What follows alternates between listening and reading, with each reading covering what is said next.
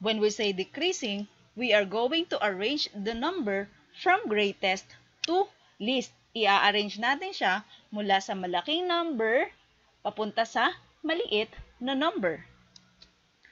Example, we have 50,000, 40,000,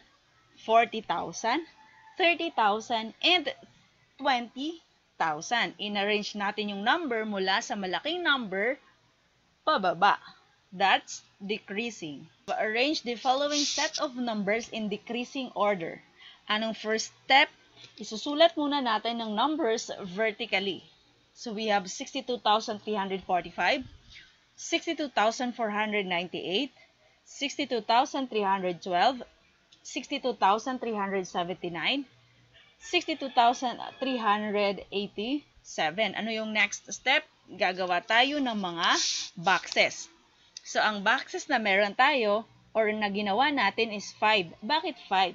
Kasi meron tayong 5 set of numbers na i-arrange from greatest to least.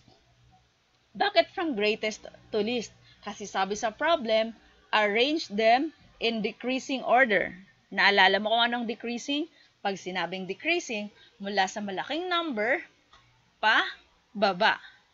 Okay. Mag-start tayo sa, sa unang digit sa left. Ang unang digit sa left ay 6, 6, 6, 6. Okay, pare-pareha sila. Since pare-pareha sila, walang number na mas malaki sa kanila. Sumunod ay, next naman ay, we have 2, 2, 2, and 2. Pare-parehas din silang 2. Ang sumunod ay we have 3, 4, 3, 3, 3. Ano napapansin mo? Merong number na mas malaki out of the option.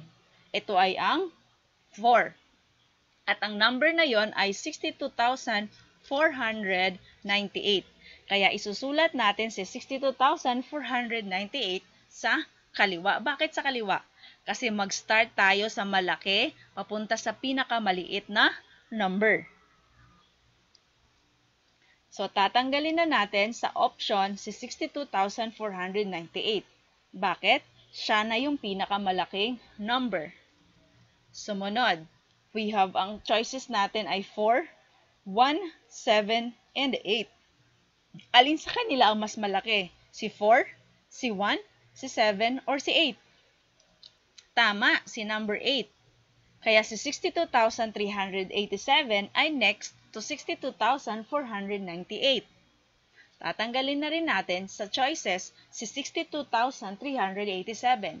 Sumunod, sino ang mas malaki? Which is greater? 4, 1, or 7?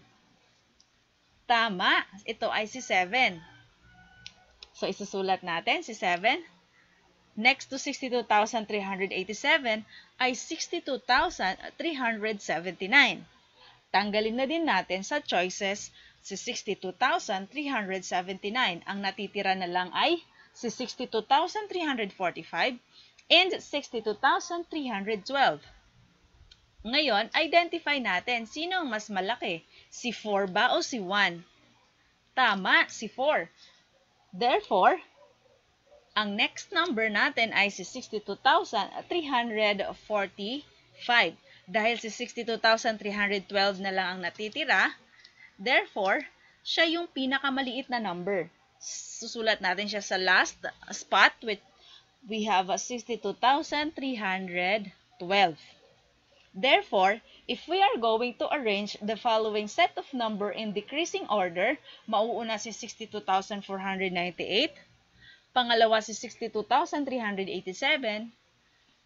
Next ay si 62,379. Sumunod ay si 62,345. And we have 62,312. Re-remind ko lang ulit kayo, pag sinabing increasing, from least to greatest. Pag sinabi namang decreasing, from greatest to least number. Thank you everyone. If you have any question, please don't hesitate to comment below. I'm happy to answer any question. Don't forget to subscribe for more math videos. Once again, this is Teacher Mel.